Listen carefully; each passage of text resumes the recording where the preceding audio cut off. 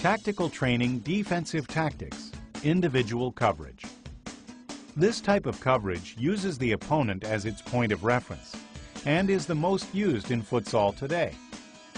It is effective in any type of court and can be used with pressure and total and half-court floating coverage. Pressure coverage also serves as a deterrent to the goalkeeper on attack because after a goal throw, the ball cannot be passed back to the goalkeeper unless it touches an opposing player or passes the center line. Defensive movement number one, individual coverage with floating partial pressure. The goalkeeper has possession of the ball. The defenders should be positioned in the following manner. Players number four and five, who are defending up front, should focus on closing the gap in the middle the other two players, numbers 2 and 3, at the back of the defensive zone, are in individual coverage. The initial focus is on the player with the ball, without each defender forgetting his respective opponent. After the goalkeeper distributes the ball, the defender on the side of the ball should reduce the space going to pressure coverage. The defender who challenges the player with the ball should pay attention to his basic positioning.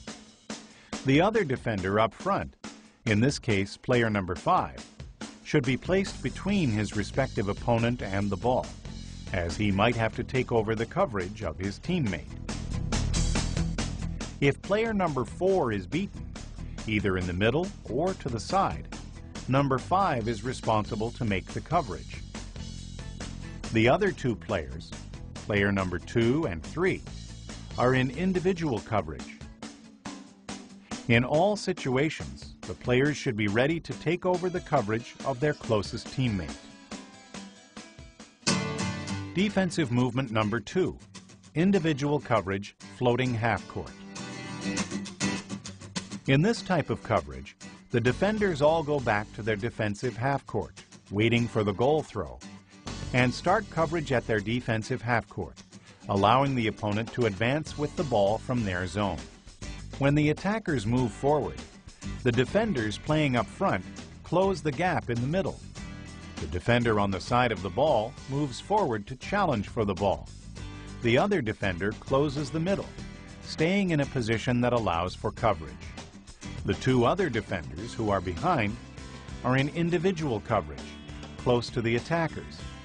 In this type of coverage, one of the players must always close the middle with the possibility of covering without forgetting his respective opponent.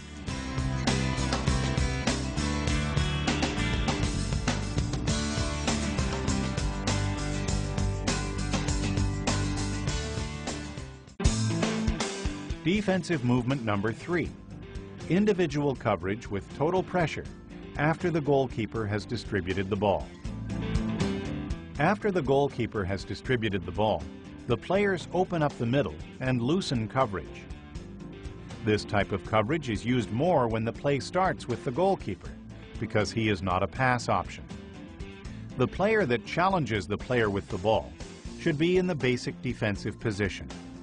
The player covering the opposing pivot should pay very close attention to him, for in this type of coverage, the pivot can find a lot of room to create plays. This type of coverage also makes defending difficult, but it should be used. The closest player is responsible for the coverage. This coverage can be used when the opposing team is technically inferior or the team is losing the game. Zone defense. The point of reference in this type of coverage is the ball, with each player responsible for a specific area. This type of coverage is more efficient when used in smaller courts and starting at the half court. Two and two coverage. This type of positioning occurs during a goal throw, before the goalkeeper has distributed the ball. The positioning is in a square shape. The defenders who are defending up front should be focused on closing the middle to prevent the ball from easily getting to the pivot. After the goalkeeper has distributed the ball, the defender on the ball side should go to challenge, and the other defender closes the middle. The defenders covering at the rear make a similar movement to those up front.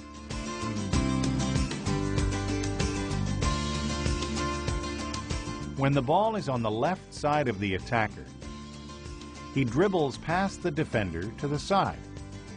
The coverage is now made by the defender closest to the parallel, in this case, number three. Defender number two takes the place of defender number three. If he is beaten to the middle, the coverage goes to number four, who closes in the middle. This type of coverage makes it possible to always have a defender covering. See how behind the defender who makes the initial challenge, there are players defending and in coverage.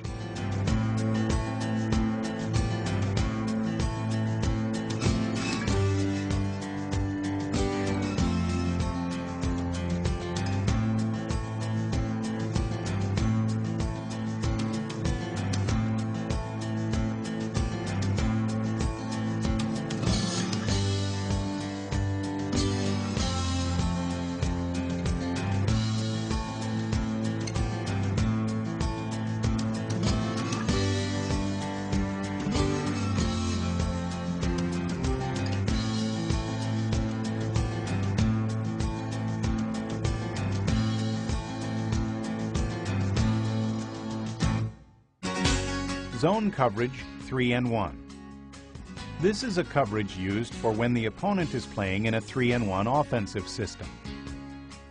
In this coverage, the fixed defender is in individual coverage of the pivot. The left wing covers the right wing. The right wing covers the left wing, and the pivot the fixed defender. The defenders make a diagonal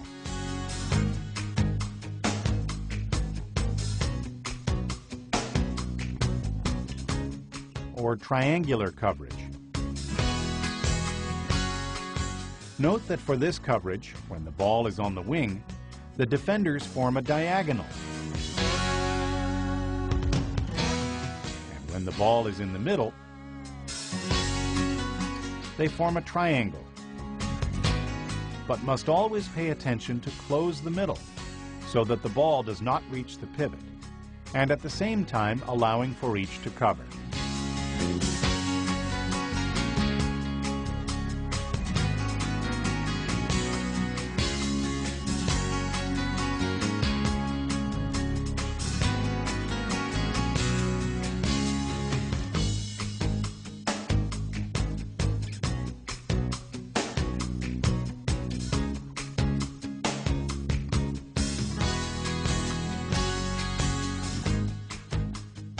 All these movements can be used with the line players and can include the goalkeeper or not.